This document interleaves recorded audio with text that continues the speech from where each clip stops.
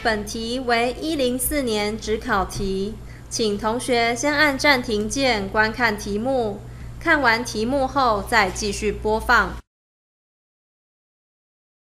本题要比较双狭缝干涉实验在空气中与在水中的实验结果。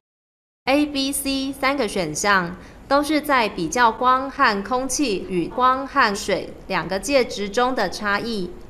第一选项则是要判断中央亮纹宽度在空气和水两介质中哪个比较大。首先来看 A、B、C 选项。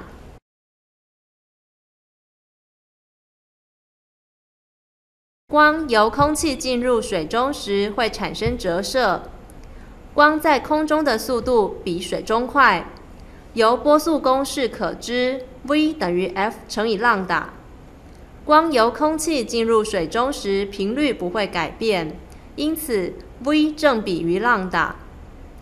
光在空气中速度较快，波长也较大。进入水中后速度变慢，波长也就变短。回来看 A 选项，水中光的频率应该不变，因此 A 选项错误。接下来看 B 选项，水中光波波长应该变短，B 选项也错误。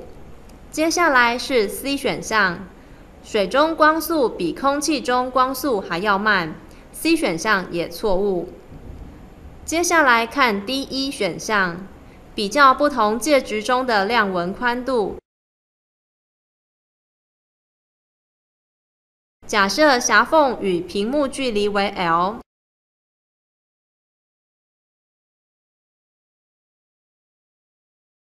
两狭缝间距为 d，以波长浪打的光波打向双狭缝，可得一亮纹宽度相等的干涉图形。假设中央亮纹宽度为 delta y one，由双狭缝干涉的亮纹宽度公式可知，亮纹宽度 delta y 等于 d 分之 l 浪打。若将整个实验装置放入水中，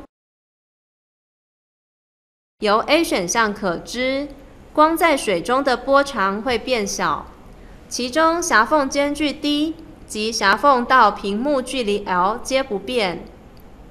因此，亮纹宽度 delta y 与光波波长浪打成正比，故水中光波波长变小，水中的亮纹宽度也会变小。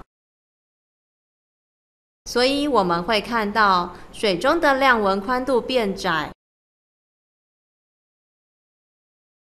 故水中亮纹宽度 delta y two 小于空气中亮纹宽度 delta y one。本题只有 D 选项正确。